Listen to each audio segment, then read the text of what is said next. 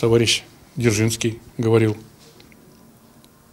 Горячее сердце, холодная голова и чистые руки. Вот среди таких людей служил Служба в морской пехоте, комитете безопасности, работа в личной охране высокопоставленных лиц, Росгвардия.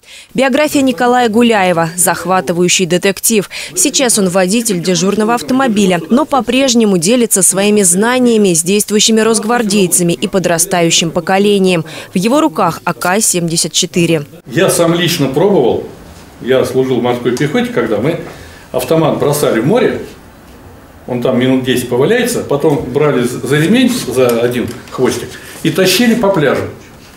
Переворачивали, тащили по пляжу, потом шли на полигон и стреляли. Ветераны, действующие сотрудники и учащиеся образовательных учреждений округа в Росгвардии День открытых дверей. Накануне праздника росгвардейцы рассказывают и наглядно показывают, как можно за себя постоять. Я кладу руку либо эту, либо эту. Прихватил, чтобы он не дернулся. И что я делаю? Иду к нему, он радуется. Он радуется, я иду к нему, он локоточек согнул, это же рычаг. Леш, тебе хорошо? Ну, хорошо, очень.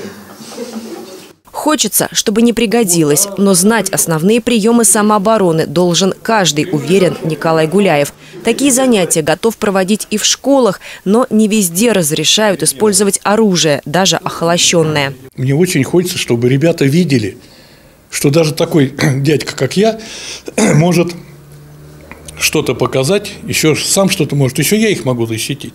Ребят, я хочу, чтобы вы меня защитили. И я вам помогу в этом.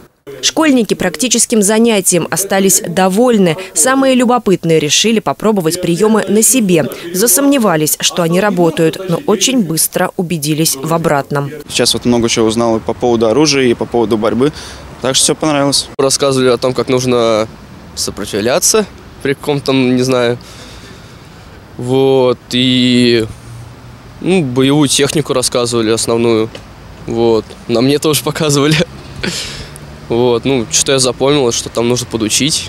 А некоторые участники мероприятия были настолько впечатлены, что теперь подумывают связать свое будущее со службой в Росгвардии. Евгения Августина, Денис Харламов, телекомпания «Одинцова».